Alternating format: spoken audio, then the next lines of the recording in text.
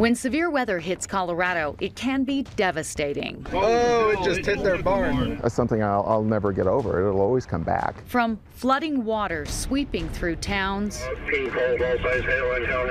to tornadoes ripping across the eastern plains. Colorado is unique in that it gets a lot of different types of tornadoes. To hail damaging cars, even homes and stores across the state. And wind snapping trees, taking out fences, balconies, power poles. There's no shortage of extreme weather here. Cities have systems in place to warn people when severe weather is coming their way, but you need to have a plan in place too. I feel lucky and blessed to still be here because I can almost guarantee you if I'd have stayed, stayed home, The 9 News weather team is dedicated to providing you the information you need to make informed, timely decisions that keep your family safe during severe weather season. We work diligently using advanced technology to gather the latest, most detailed forecasts on severe storms headed your way. We want to make sure that you have enough time to get to safety. We'll start by explaining severe weather here in Colorado and how it forms. Belinda Leon shows us. As the days get longer, the days get warmer, giving the key ingredient to fuel thunderstorms. Like clockwork, April through September, between noon and sunset, these storms form when surface temperatures are highest.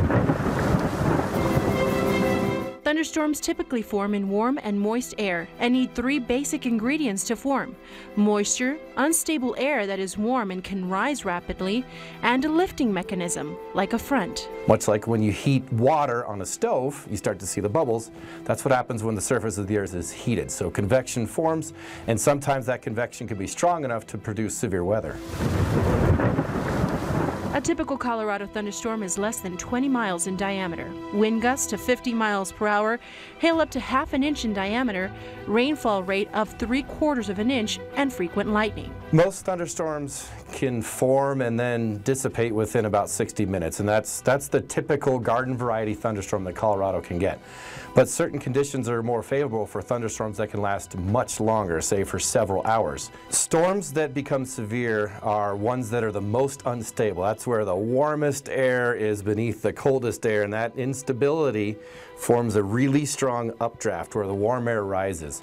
And the stronger the updraft, it's the, the better the ability for a storm to generate hail and lightning and those types of things. A severe thunderstorm is considered to have hail up to one inch in diameter or larger, winds with gusts of 58 miles per hour or greater, or a tornado. We also have a unique characteristic to northern Colorado that's pretty much from the Denver metro area north into Weld County that we call the Denver cyclone. It's a broad circulation, but when you get surface heating on top of that boundary, convection can form, that storms can form right on top of that boundary, and sometimes we can get tornadoes that form as the storm grows. So as the storm is going up, it has a, a quick spin-up tornado that we call a non-supercell tornado. Lightning, hail, tornadoes, flooding. Are you ready? Make a preparedness plan to keep your property and family safe when severe weather strikes. Springtime in Colorado, it means violent thunderstorms and tornadoes. We have more tornadoes in the United States than any country in the world, 10 times as many. In Colorado in the month of June, 700 tornadoes reported just since the 1950s. So how is this amazing feat of Mother Nature formed? We'll take you inside, show you the anatomy of a tornado. A tornado is a violently rotating column of air, usually starts at the base of a supercell, goes down to the ground.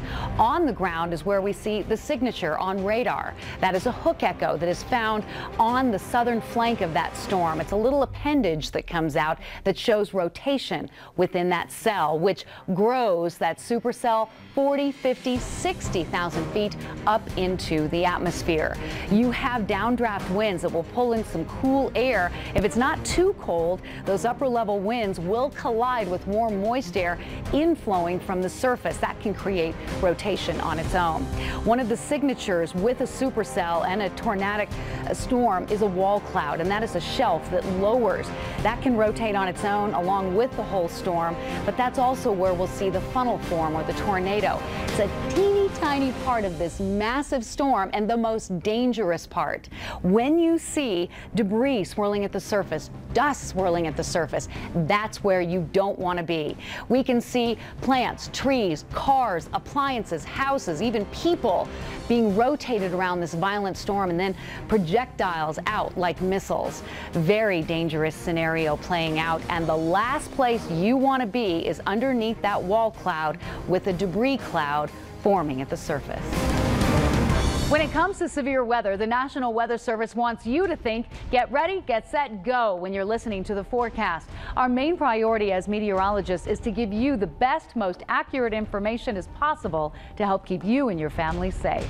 When we give you a severe weather outlook, this is the get ready phase. That's when you need to create a plan for the incoming severe weather situation.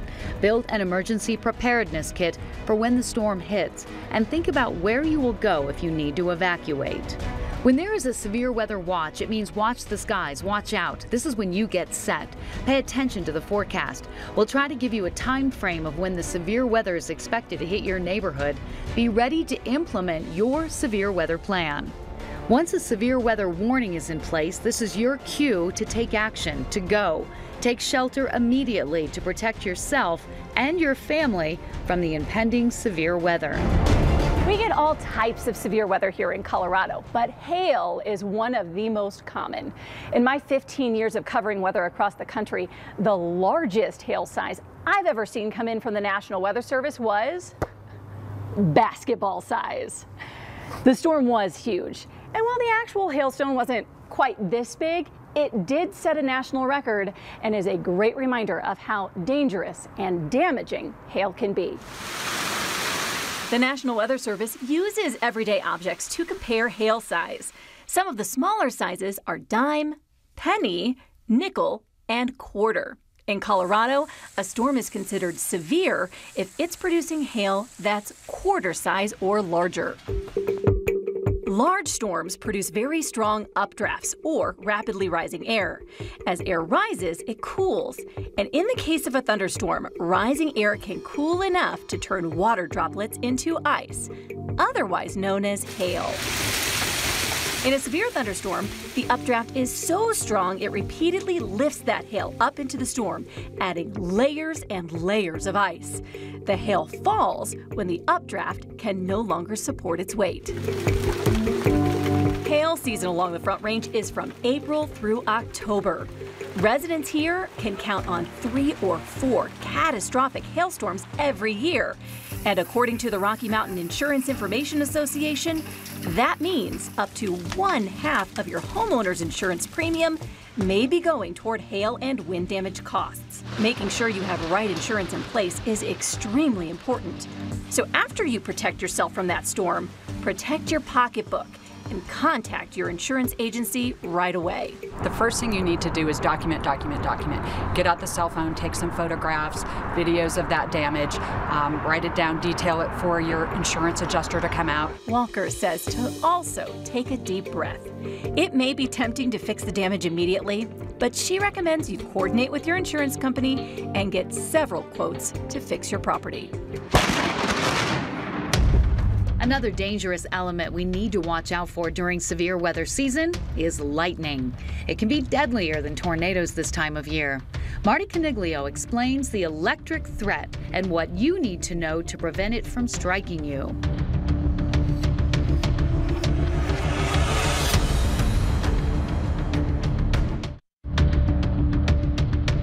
It's so common we get used to it. Lightning, thunderstorms here in Colorado. But there may be a lot that you do not know about one of Colorado's most deadly weather events. We live in an electrical world. When we get hit by about 50 to 100 strikes of lightning every second, we're talking about billions of strikes a year.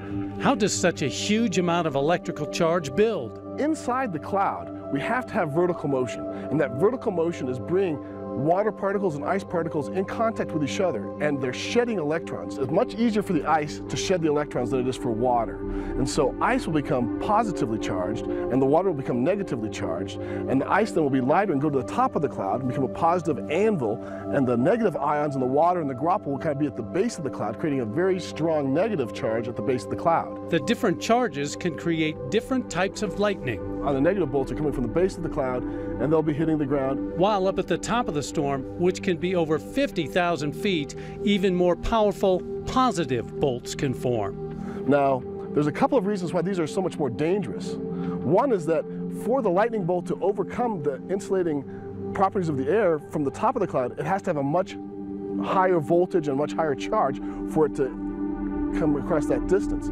These strikes carry an incredible amount of electricity.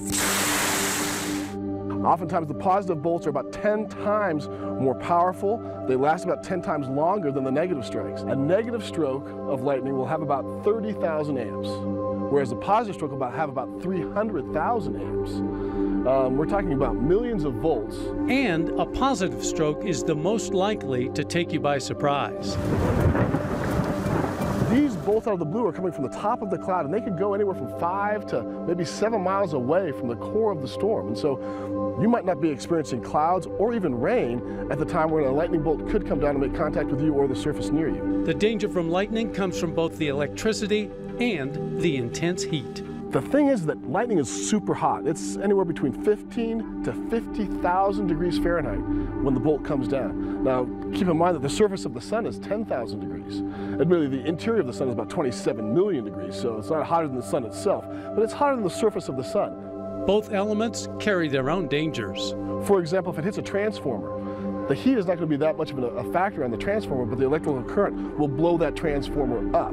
Now, when we as, as human beings get hit by lightning, we suffer from both of the impacts. We suffer from the heat, we get burn marks on our bodies, but there are neurological issues that can uh, develop from the electrical capacity coming through your body. And so you can do nerve damage, um, brain damage from the electrical aspect as well. So for the human component, really both of them are very uh, debilitating for, for us because we can get damaged by the heat and by the electrical current. On average, we have three deaths and dozens of injuries every year due to lightning.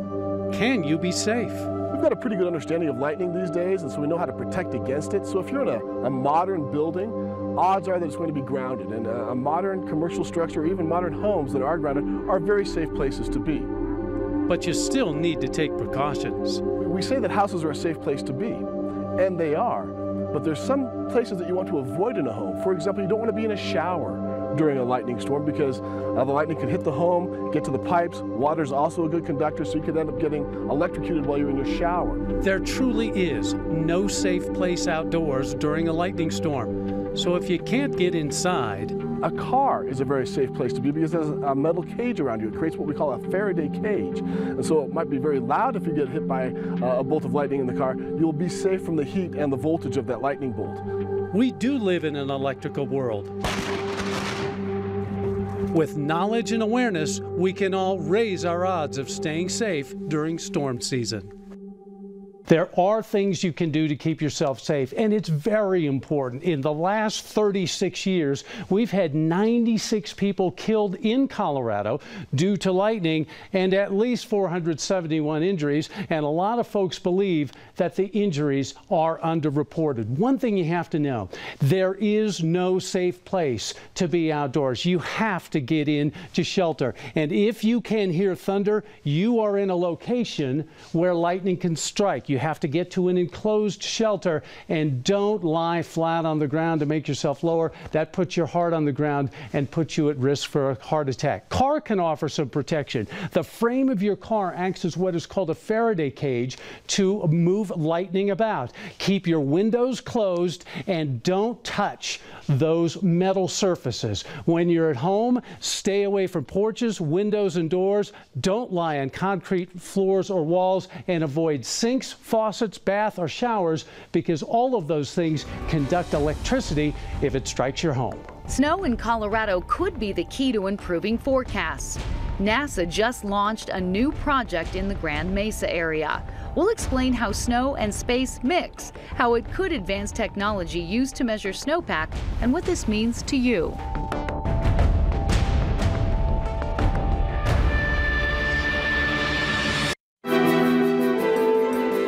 Seen plenty of snow across Colorado this winter, and NASA is using it to set up sensors and test out new ways to measure the snowpack. More than 100 scientists from across the world are working on a snow satellite mission. Meteorologist Danielle Grant explains what it's all about. Water. We all need it to survive. About one out of every six people on planet Earth depend, uh, in, in the majority, depend on uh, water from snow to get their water for drinking, for agriculture, and so forth. So it's really vital. That's why NASA is testing a combination of sensors from the ground and air to see how they can best collect snow water measurements from space. This multi year project is called SnowEx, and it's happening in our backyard. We had aircraft flying for three weeks and uh, about 100 people on the ground collecting what we call ground truth.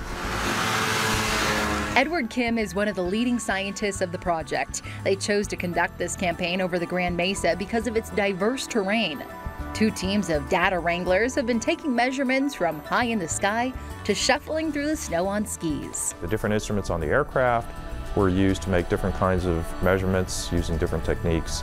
And the folks on the ground were collecting actual measurements of what the, you know, how much snow was really there, for example. While satellites show snow cover, they don't adequately show the amount of water in the snowpack, something that would dramatically improve weather forecasts. Knowing how much water you're going to be able to capture, knowing when it's going to melt and come down out of the snowpack uh, and end up in, in, in, your, in your rivers or your reservoirs uh, is, is a key part of what NASA is trying to do. Trying to get one step closer in identifying how much water is out there and how it'll impact the world, all from the farthest reaches of space. Danielle Grant, 9 News.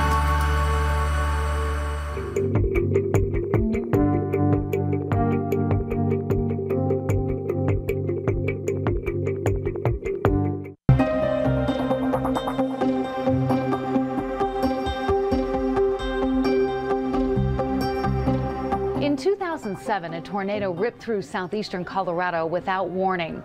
One woman was killed, 35 homes were destroyed in the town of Holly. We spoke to one couple as they dug through the rubble of what used to be their family home. 9 News reporter Noel Brennan and photojournalist Ann Herbst went back to the Kalma family 10 years later. It kind of makes you appreciative of, you know, today. As seasons change and years pass, It's hard to believe it's been 10 years. time is measured by moments. It just changed everything here. It really did. The biggest moments. It'll be 10 years, March the 28th. Holly, Colorado remembers like yesterday. Oh, it was just immense, just the big funnel. And just went straight north, where we what we say through the park, Went down uh, on the north side of town. and destroyed many, many homes in the country too. On a Wednesday night 10 years ago, Yeah, it was Wednesday. Holly had no warning. Nobody thought about a tornado in March. I didn't. It was Bible study night for Peggy and Jim Kalma. And I told her, I'm too tired. I'm not going to go. Well, go we got tonight. a new trap and field. Yeah. A husband's magazine was no match for a wife's persistence. So he decided to keep peace in the family. He followed me out the door. Out the door and out of the path of an F4 tornado. I feel lucky and blessed to still be here because I can almost guarantee you if I'd have stayed, ho- stayed home, To see your, your community destroyed is hard. You know, you couldn't sit down and say, woe me, because it was the whole community. These moments became memories Yeah, these are all pictures of, of what happened. the Kalmas keep. No place to hide here. Thank you, Lord, that we weren't here. Captions detail what was lost. Jim's pickup is vacuum packed. A card We got this picture in the mail. reminds them what was found. Oh, yeah. Oh, yeah. It's my grandson. So That's Nathan. A family photo traveled by tornado. This is where they found it. Here's St. Francis, Kansas. Blown 150 miles, it came home. it's just the, the Lord's will, you know. Their faith was always strong, It's just amazing. but Jim and Peggy never expected the help You know, La Junta, Ulysses. that came from so far away. Everybody helped everybody, and We had so many people here helping. renews your faith in in your fellow man. It was just amazing. You don't see a town come together until something tragic happens. A decade has passed, and a town was rebuilt. Everything's before tornado or after tornado. You know, it, it changes. It's, it's a line, it's a break. Moments are now memories. I'm just thankful we were gone. So the good Lord took care of us. Holly is still home. I think it, it brought this community even closer. With photojournalist Ann Herbst, Noel Brennan, 9 News. Severe weather definitely top of mind for us this time of year as we watch the radar every day. The severe storms, the most dangerous weather that we see this time of year begins in mid-May and peaks in early June. Now is the time to start preparing. We want to continue serving you as your trusted weather source. On behalf of the entire 9 News weather team, we thank you so much for watching and thank you so much for joining us.